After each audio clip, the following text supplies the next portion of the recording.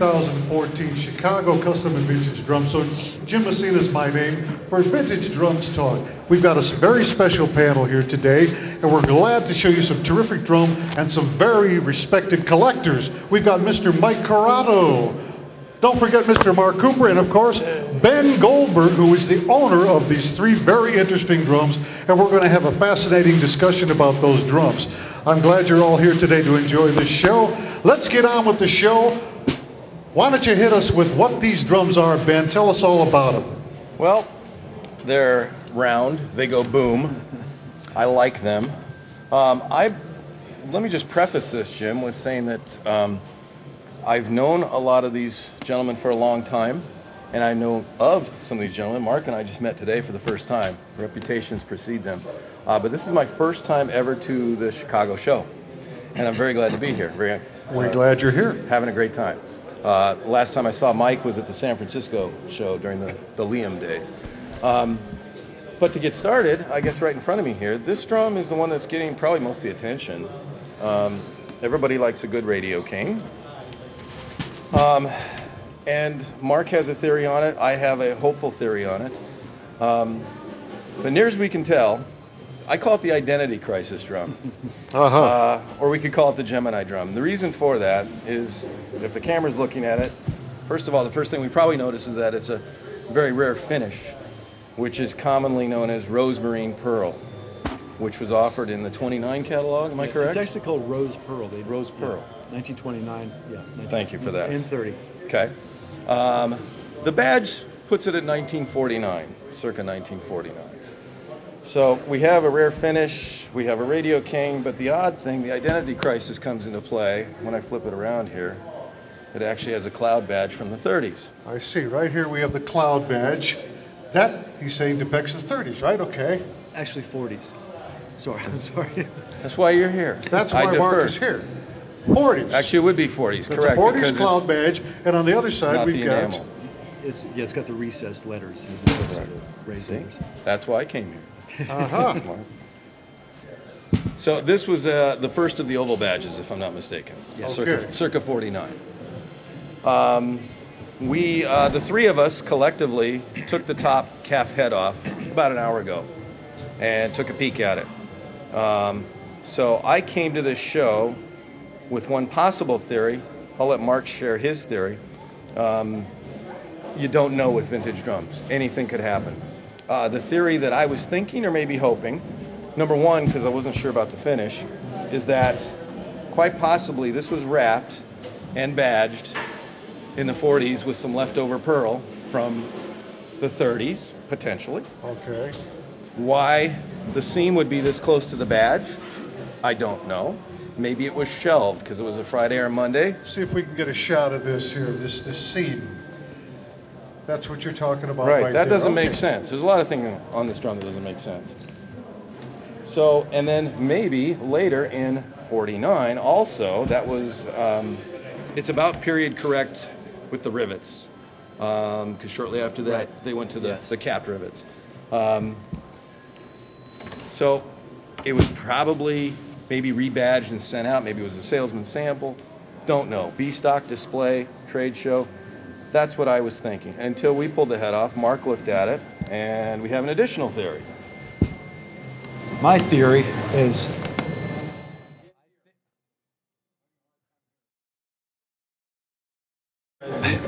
my theory is that uh, this was an old rewrap for several reasons. One, this pattern of the rose pearl is totally different from what was available on rose pearl in 1929, 1930. It's a much smaller, tighter pattern, and it's it, this is an uncatalogued finish. Now, my theory is this is a, an old rewrap done in the done around 1949. The hardware is all correct for late 40s. Everything is correct except for the finish and the two badges. On the inside, we notice the grommet application is different on, on one badge as it is from the other, so they obviously were not done at the same time. And why would you have a cloud badge and an oval badge at the same time? So that's my theory is it was rewrapped in in the, in the late 40s, early 50s. I have seen a blue version of this, which you happen to have. I do have with you, one, not with me, but- With the same small pattern. Uh-huh. Very, extremely thin wrap as opposed to the standard wrap that Slingerland would use. And I'm thinking that they used a really thin wrap so that it would go over a, a possibly a Duco painted finish. Because if ever, most people know if you try to wrap, re-wrap over top of a painted finish, the heads will never go on. I have experienced that myself. I learned that the hard way. Right, We all did. especially calf heads. Um, This does have Radio King calf So on the, it. yes, so the really super thin plastic that they used would be, one, one explanation would be that's why it's so thin. Uh, And I've seen rewraps from the early 50s. There was a guy named Vespi in, from Camden, New Jersey. He was very famous for what, cocktail drums Yes, and that yeah. kind of thing. Yeah. And what he would do, he would take drums and take, uh, uh, like a Duco painted finish and rewrap with real similar pearl, extremely paper thin pearl. So to me, that suggests an, an old time rewrap job on this, but can't prove any of these theories. It's Again? a total mystery. A very interesting theory and, and a really good, educated. What's, uh, it's uneducated. But there's no way to, I mean, there's no way to prove it. You can't go back in a time machine and find out what happened, so it's speculation. As you say, an anomaly. This An is what you've been describing this as. Mike, Indeed. do you have a different outlook on this? On advice of counsel, I, would- no. Uh, Just added on the, on the strainer, there's a couple of things that maybe the gut piece, Well, this, I, I said everything was correct. This one piece is a later, probably early 60s. The lower part of the, oh, the diamond with the diamond cut out, is that what you're saying? Yes. they, Uh, uh, should did they stamp the piece. things then that late or not? I'm sorry? Did they stamp the extension lever that late? Off and on. I mean, Yeah, I don't think so. That's more. Yeah, it's the only that's more thing they added 30s. is- Well, and they would have gotten rid of gut pieces, correct? Wouldn't have been the, the metal tab. It's not the diamond though. Yeah, you would have had the metal And tab. but without the dime. A string was optional too, with the, with the little hole, so. Okay. But that, that's probably the only piece of hardware that isn't original to the drum, from what I can tell. So the other variable that I had coming here, and we still don't have an answer to this, was, was it coral pearl? We've determined that it's probably not. Um, But we've seen, at the very least, uh, variants in marine pearl, or rose marine, Rose pearl. rose pearl, potato. There we go. tomato. Um, But, yeah, coral pearl, coral pearl, excuse me, I think you have a swatch on your website too, Mark. Yeah. a- A a scan of it. So that I haven't seen, and that's a a little bit lighter, a little bit pinker, but to my knowledge, my limited knowledge, uh, nobody's seen one. So the quest continues for coral Right. at this point. And again, at that, in those days, you wouldn't see such a tight pattern on the pearl. Everything was the big swirly, round, I mean, rounded. But I do have a blue one. Yeah. It, and if my theory is correct, your blue one is a, a similar scenario. A rewrap? I guess we'll have to bring it next year and find out. And find out, that's right. Yeah. In any event, this is definitely a, a very unique vintage piece. Uh, And I'm the sure. Fact, the fact that it was done a long time ago really adds a lot to this. That it's not. This wasn't done 10 years ago or No. something. It's. So I mean, it really adds legitimacy to it to me. Good word, legitimacy. When you think of maybe the intent, when you start to think of the intent to be, okay, what was somebody trying to do? Right. If they were trying to do anything at all, maybe not. But again, as you say, if this were done a long time ago, that still makes this a very vintage Right. and remarkable piece, I think. Somebody suggesting adding an extra vent hole for playability, for sound, what have you, but that makes no sense. Because why would they go back in time? and add- And why put a badge on it too? Right. A- An earlier badge. It- But uh, I still don't know. There is the identity crisis. Well, there you have it. Uh, An interesting drum, for sure. Uh, Now, you just called me not too long ago about these pieces, and these were un- unknown pieces. We're going to show you more of what we've got. Uh, We're going to put this drum aside now, and we're going to take a look at what Mark is holding right here. Also, another Ben Goldberg piece. Sure. Now, this Thank- is a beautiful drum. I'm really digging that. Look at that. Well, and thanks to Mike, he clarified the one question I had on this drum, which was why would Ludwig go to the pains of making a deluxe drum, AKA Black Beauty, the flagship drum, and not engrave the company name on it. So this is a four pedal pattern, uh, which is right before the silver anniversary drums. 1929 only, I think. Was four pedal? Yeah, I think so, yeah. That's per John Aldridge, so. Okay. yeah. All right. Um, Again, learning something new every day. I thought it might have gone over into the early 30s. But the other, uh, to my knowledge, catalog options were, of course, deluxe hardware. Gold-plated, uh, art gold, Leedy calls it knobby gold. I'm sure you'll correct me. Yeah, well, Go ahead. art gold was Slingerland's term, Okay. and this was deluxe. Deluxe. What they, were- yeah, and Leedy was, like you said, was Knobby knobby gold. gold. Okay. But at any rate, it's not a colored hardware. And the other thing is chrome was an option, but not too many people ordered chrome because if they were going to spend the dollars, 15, $15 upcharge. I think. yeah, if you're going to buy the Cadillac, you're going to get the leather seats. Well, that didn't happen with this drum, and it's nickel. Um, somebody suggested somebody could have swapped out the parts years ago. That's possible. I don't think so. Looking at this drum, I've had this drum in my collection for some time. Um, it sounds great, but nowhere on it is it engraved Ludwig. Um, fascinated me also was, and Mike, you might know this, um, the pattern, I believe, is the same pattern as the DFS drum Yeah.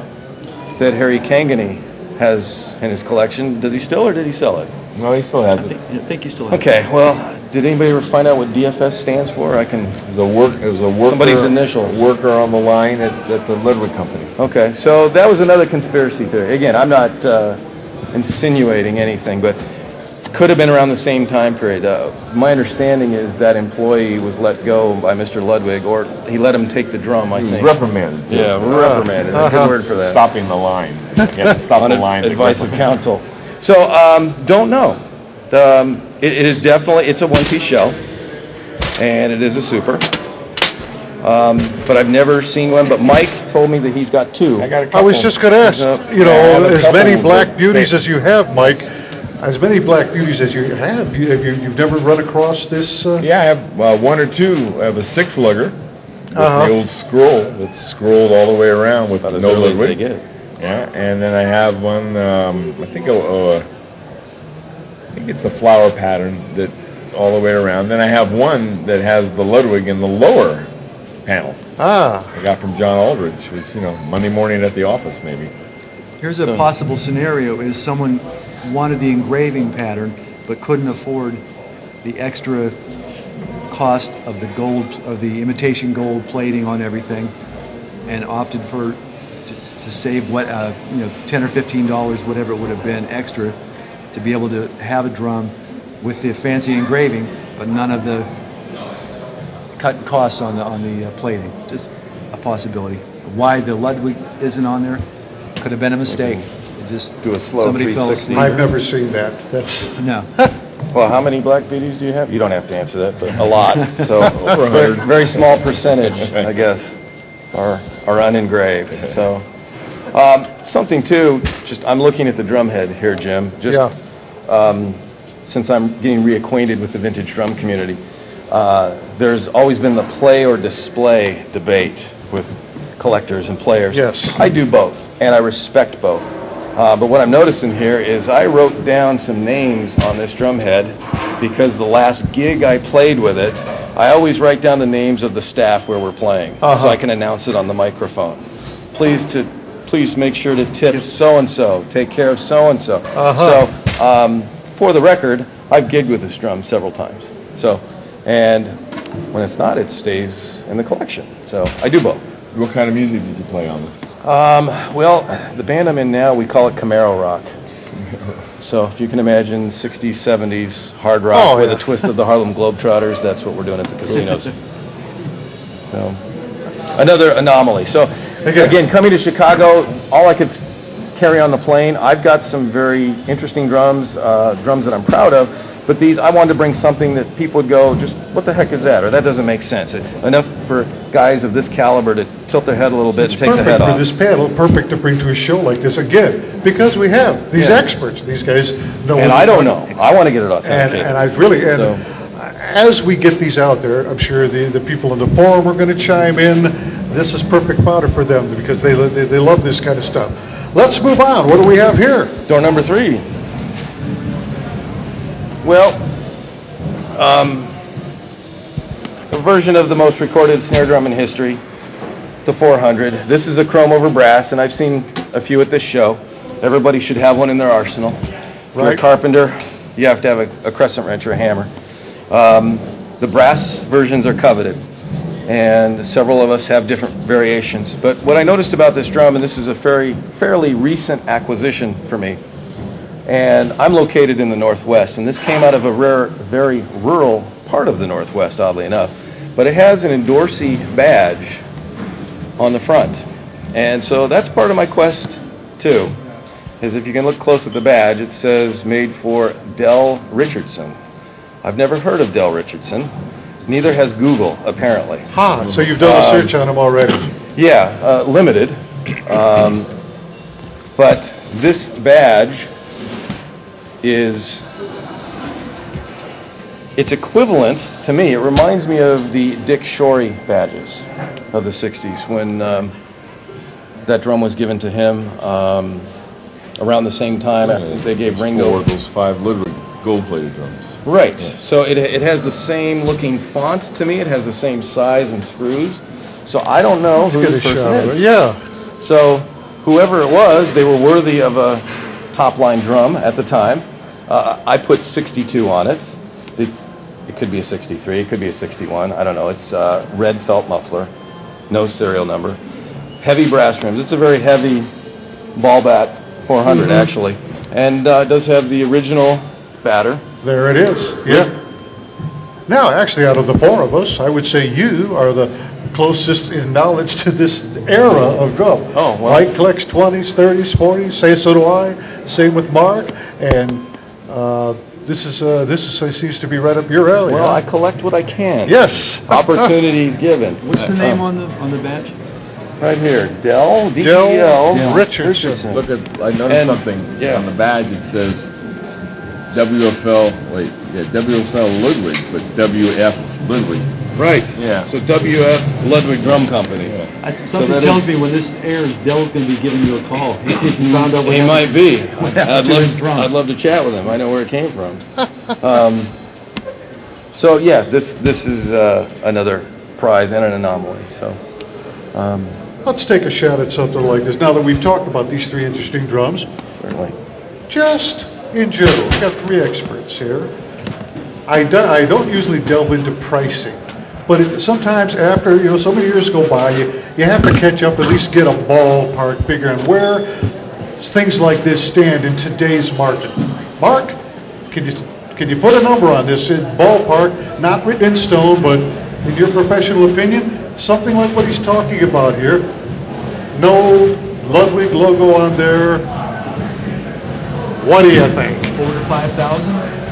All righty then. Once again, that was, Just pulled out of thin air. right, No real, okay. Ben, have you, Sold. No. yeah, uh, have you, have you put Yeah. prices on these? Have you tr- been selling, trying to sell these? Uh, no, I'm not actually. Okay. Um, but I guess technically everything's for sale. Uh, as I told Mike, um, hey, I- that's my motto. we're, we're still on our honeymoon. Myself and this drum here. I see. We're still getting acquainted too. Uh-huh.